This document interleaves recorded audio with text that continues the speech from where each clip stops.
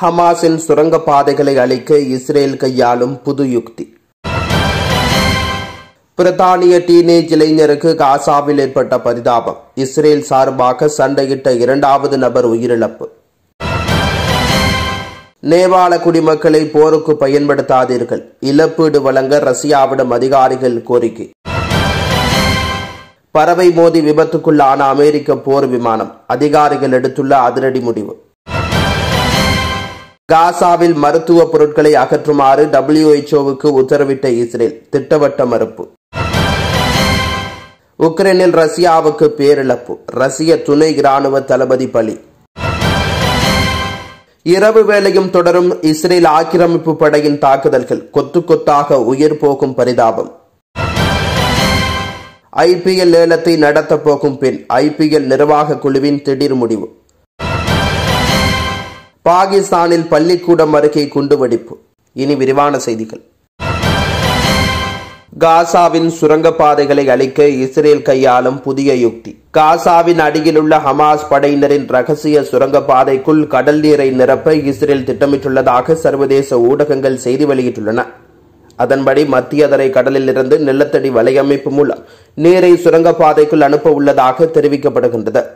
ஒவ்வொரு மணி நேரத்துக்கும் ஆயிரக்கணக்கான லிட்டர் தண்ணீரை நிலத்தடிக்கு அனுப்பும் திறன் கொண்ட ஐந்து மோட்டார்களை வடிவமைத்துள்ளதாக இஸ்ரேல் அமைப்பு தெரிவித்துள்ளது. வடக்கு காசாவில் அல் சாதி அகதிகள் முகாமுக்கு வடக்கே ஒரு மைல் தொலைவில் இந்த பம்புகள் அமைந்துள்ளதாக கூறப்படுகின்றது. ஆனால் இந்த திட்டத்தை இஸ்ரேல் நிறைவேற்றினால் காசா பகுதியில் உள்ள நல்ல தண்ணீர் பாதிக்கப்படுவதோடு மேலும் பல அபாயங்களை ஏற்படுத்தும் என நிபுணர்கள் எச்சரிக்கை விடுத்துள்ளனர். அத்துடன் அமெரிக்க நட்பு நாடுகள் மற்றும் பல்வேறு உலக நாடுகளின் கண்டனங்களை இஸ்ரேல் எதிர்கொள்ளும் எனவும் கூறப்படுகிறது. இதேவேளை இரண்டாயிரத்தி பதினைந்தாம் ஆண்டில் எகிப்தில் சுரங்கப்பாதைகளை வெள்ளத்தில் மூழ்கடித்த போது உள்ளூர் விவசாயிகள் தங்கள் அறுவடை அளிக்கப்பட்டதாகவும் புகார் தெரிவித்திருந்தமை குறிப்பிடத்தக்கது. நேபாள குடிமக்களை போருக்கு பயன்படுத்தாதீர்கள். இழப்பீடு வழங்க ரஷ்யாவிடம் அதிகாரிகள் கோரிக்கை. தங்கள் நாட்டு குடிமக்களை உக்ரைன் மீதான போர் தாக்குதலில் பயன்படுத்துவதற்காக வேலைக்கு எடுக்க வேண்டாம் என ரஷ்யாவிடம் நேபாள அதிகாரிகள் கோரிக்கை விடுத்துள்ளனர். உக்ரைனுடனான போர் தாக்குதலுக்காக தங்கள் நாட்டு குடிமக்களை ரஷ்யா வேலைக்கு எடுப்பதை நிறுத்திக் கொள்ள வேண்டும் என நேபாள அதிகாரிகள் ரஷ்யாவிடம் தெரிவித்துள்ளனர். உக்ரைன் போரில் ஆறு நேபாள கூலிப்படையினர் கொல்லப்பட்டதை தொடர்ந்து இந்த அழைப்பானது முன்னெடுக்கப்பட்டுள்ளது. மேலும் நேபாளத்தின் வெளியுறவு அமைச்சரகம் வெளியிட்டுள்ள அறிக்கையில் உக்ரைன் போரில் ரஷ்யாவால் ஈடுபடுத்தப்பட்டு கொல்லப்பட்ட நேபாளிகளின் பெயர் பட்டியல் வெளியிடப்பட்டுள்ளது. அத்துடன் அதில் உயிரிழந்த நேபாளிகளின் உடலை ரஷ்யா தாயகத்துக்கு அனுப்பி வைக்க வேண்டும் என்றும் அவர்கள் குடும்பத்துக்கு இழப்பீடு வழங்க வேண்டும் என்றும் கேட்டுக்கொண்டுள்ளது. கூடுதலாக அறிக்கையில் ரஷ்யாவுக்கு போரில் சேவையாற்றி வரும் நேபாளிகளை விடுவிக்கவும் மற்றும் போர் தாக்குதலின் போது உக்ரைன் ஆயுதப்படையால் கைது செய்யப்பட்டவர்களையும் விடுவிக்க நேபாள அதிகாரிகள் முயற்சிகளை மேற்கொண்டு வருவதாகவும் தெரிவிக்கப்படுகின்றது. ரஷ்யாவுக்கான நேபாள தூதர் மிலன் ராஜ் துலாதரின் மதிப்பீட்டின்படி கூலிப்படை ஆட்களாக ரஷ்ய ராணுவத்தில் நூற்றி ஐம்பது முதல் இருநூறு நேபாளிகள் பணியாற்றி வருவதாக தெரிவித்துள்ளார். பிரித்தானிய டீனேஜ் இளைஞருக்கு காசாவில் ஏற்பட்ட பரிதாபம். இஸ்ரேல் சார்பாக சண்டையிட்ட இரண்டாவது நபர் உயிரிழப்பு. காசா பகுதியில் நடந்த சண்டையில் பிரித்தானிய டீனேஜ் இளைஞர் பெஞ்சமின் நீத்தம் இஸ்ரேலிய ஆக்கிரமிப்பு படைக்காக சண்டையிட்ட போது கொல்லப்பட்டதாக தெரிவிக்கப்படுகின்றது. காசா பகுதியில் நடைபெற்று வரும். போர் தாக்குதலில் இஸ்ரேலிய ஆக்கிரமிப்பு படை சார்பாக சண்டையிட்ட பிரித்தானிய டீனேஜ் இளைஞர் பெஞ்சமின் நீதம் ஞாயிற்றுக்கிழமை கொல்லப்பட்டதாக அறிவிக்கப்பட்டுள்ளது. பெஞ்சமின் நீதம் இரட்டை குடியுரிமை கொண்டவர் என்றும் அவர் தன்னுடைய குடும்பத்துடன் பத்து வருடங்களுக்கு முன்பு இஸ்ரேலில் குடியேறியதாக இஸ்ரேலிய ஊடகங்கள் வெளியிட்டுள்ள தகவலின் மூலம் தெரிய வந்துள்ளது அத்துடன் அக்டோபர் ஏழாம் தேதி தொடங்கிய தாக்குதலில் நாத்தனல் யங் என்றவருக்கு பிறகு இஸ்ரேலிய ஆக்கிரமிப்பு படைகளுக்காக சண்டை போட்டு கொல்லப்பட்ட இரண்டாவது பிரித்தானியர் பெஞ்சமின் நீத்தம் என தெரிவிக்கப்படுகிறது. ஜிக்ரோன் யாகோவைச் சேர்ந்த நீதம் அறுநூத்தி ஓராவது பட்டாலியன் பிரிவில் சண்டையிட்டதாக டைம்ஸ் ஆஃப் இஸ்ரேல் தகவல் வெளியிட்டுள்ளது. இது தொடர்பாக இஸ்ரேலிய அதிகாரிகள் வழங்கிய தகவலில் கொல்லப்பட்ட பெஞ்சமின் நீத்தம் காசாவில் இரண்டு நாட்கள் மட்டுமே இருந்ததாக தெரிவித்துள்ளனர். அத்துடன் அவருக்கு துல்லியமாக என்ன நடந்தது என்பது தெரியவில்லை என்றும் குறிப்பிட்டுள்ளார். ஞாயிற்றுக்கிழமை கொல்லப்பட்ட மூன்று நபர்களில் டீனேஜ் இளைஞர் நீத்தமும் ஒருவர் என இஸ்ரேல் ஆக்கிரமிப்பு படை திங்கட்கிழமை தெரிவித்துள்ளது. பாகிஸ்தானில் பள்ளிக்கூடம் அருகே குண்டுவெடிப்பு. பாகிஸ்தானில் ஹைபர் பங்துக்வா மாகாணம் பெசாவர் நகரில் தொடக்கப்பள்ளி உள்ளது. இங்கு வழக்கம் போல் நேற்று வகுப்புகள் நடைபெற்றுக் கொண்டிருந்தன. இந்த நிலையில் திடீரென அந்த பள்ளிக்கூடம் அருகே பயங்கர சத்தத்துடன் குண்டுவெடித்துள்ளது இதனால் அங்கிருந்தவர்கள் பயத்தில் அலறியடித்துக் கொண்டு ஓடியுள்ளனர். இந்த தாக்குதலில் நான்கு மாணவர்கள் உட்பட ஏழு பேருக்கு காயம் ஏற்பட்டுள்ளது. மீட்பு படையினர் அவர்களை மீட்டு சிகிச்சைகளுக்காக ஆஸ்பத்திரியில் அனுமதித்துள்ளனர். இந்த வெடிகுண்டு தாக்குதலுக்கு இதுவரை எந்தவொரு அமைப்பும் பொறுப்பேற்கவில்லை. இது குறித்து போலீசார் வழக்கு பதிவு செய்து தீவிர விசாரணை நடத்தி வருகின்றனர். உக்ரைனில் ரஷ்யாவுக்கு பேரிழப்பு. ரஷ்ய துணை இராணுவ தளபதி பலி. உக்ரைனில் ரஷ்ய துணை இராணுவ தளபதி கொல்லப்பட்டதாக ரஷ்யாவின் ஓரனேஜ் பிராந்தியத்தின் ஆளுநர் விளாடிமிர் சாவட்ஸ்கி தெரிவித்துள்ளார். ரஷ்யாவின் பதினான்காவது இராணுவ படையின் துணை தளபதியான மேஜர் ஜெனரல் விளாடிமிர் ஜவாட்ஸ்கி உக்ரைனில் கொல்லப்பட்டதாக பிராந்திய உயரதிகாரி உறுதிப்படுத்தியுள்ளார். ஜாவாட்ஸ்கி சிறப்பு நடவடிக்கை மண்டலத்தில் உள்ள ஒரு போர் முனையில் இறந்தார் என்று ரஷ்யாவின் ஓரனிச் பிராந்தியத்தின் ஆளுநர் அலெக்சாண்டர் குசேவ் திங்கட்கிழமை தெரிவித்த நிலையில் மேலதிக தகவல்கள் எதனையும் அவர் தெரிவிக்கவில்லை. சிறப்பு ராணுவ நடவடிக்கை என்பது உக்ரைனில் பிப்ரவரி இரண்டாயிரத்தி இருபத்தி இரண்டில் தொடங்கிய போரை விவரிக்க ரஷ்யா பயன்படுத்தும் சொல்லாகும். ஜாவட்ஸ்கியின் மரணம் ரஷ்யாவால் இறந்ததாக உறுதிப்படுத்தப்பட்ட ஏழாவது மேஜர் ஜெனரலாக குறிப்பிடப்பட்டுள்ளது. போர் தொடங்கியதிலிருந்து இறந்ததாக அறிவிக்கப்பட்ட பன்னிரண்டாவது மூத்த அதிகாரி என்று புலனாய்வு செய்தி நிறுவனமான ஐஸ்டோரிஸ் தெரிவித்துள்ளது. இரவு வேளையும் தொடரும் இஸ்ரேல் ஆக்கிரமிப்பு படையின் கொடூர தாக்குதல்கள் கொத்து கொத்தாக போக்கும் உயிர்கள்.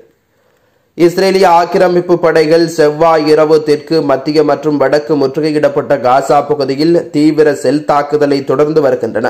இதில் பெருமளவு மக்கள் படுகொலை செய்யப்பட்டுள்ளனர்.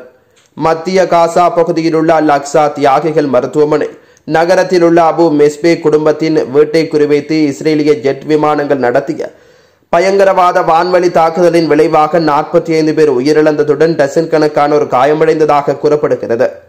இஸ்ரேலிய போர் விமானங்கள் காசா பகுதியிலுள்ள ஜபாலியாவின் மேற்கிலுள்ள அல் பலூஜா பகுதியில் உள்ள இடம்பெயர்ந்தவர்களுக்கு அடைக்கலம் அளித்து வரும் ஹப்சா பள்ளிக்கு அருகில் குண்டு வீசி தாக்குதல் நடத்தியுள்ளது. இது பலருக்கு காயங்களை ஏற்படுத்தி இருக்கிறது. ஜெட் விமானங்கள் கான் யூனிஸில் உள்ள நாசர் மருத்துவமனையின் அருகாமையிலும் தீவிர கொடூர தாக்குதல்களை நடத்தியுள்ளன.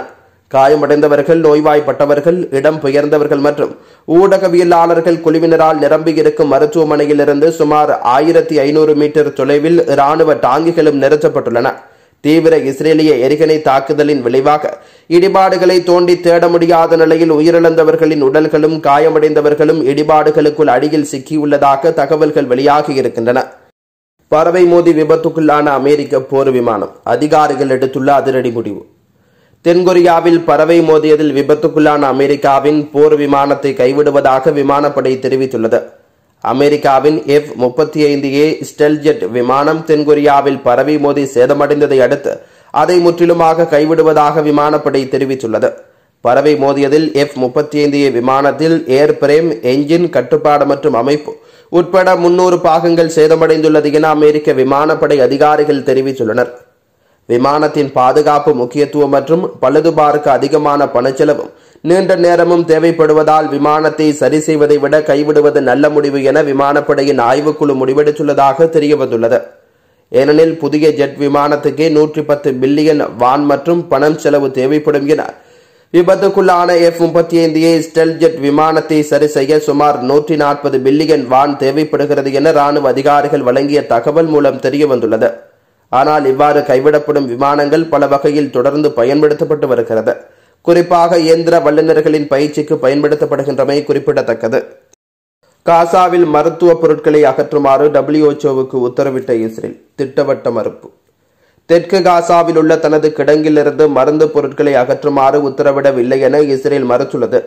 தற்காலிக போர் நிறுத்தம் முடிவடைந்ததை தொடர்ந்து இஸ்ரேல் மீண்டும் காசா மீது பயங்கர தாக்குதல்களை நடத்தி வருகிறது. காசாவின் நானூறுக்கும் மேற்பட்ட பகுதிகளில் தாக்குதல் நடத்தியதாக இஸ்ரேல் தெரிவித்துள்ள நிலையில் தற்போது உலக சுகாதார அமைப்பு கூறிய விடயம் ஒன்றை இஸ்ரேல் திட்டவட்டமாக மறுத்துள்ளது. அதாவது இஸ்ரேல் ஆக்கிரமிப்பு படைகளிடமிருந்து தெற்கு காசாவில் உள்ள எங்கள் மருத்துவ கிடங்கிலிருந்து இருபத்தி நான்கு மணி நேரத்துக்குள் எங்கள் பொருட்களை அகற்ற வேண்டும். இல்லையென்றால் தரைவழி நடவடிக்கைகள் பயன்படுத்த முடியாதவையாக இருக்கும் என்று கூறப்பட்டதாக டபிள்யூஎச்ஓ தெரிவித்துள்ளது. இந்த நிலையில் இஸ்ரேல் இதனை மறுத்துள்ளது.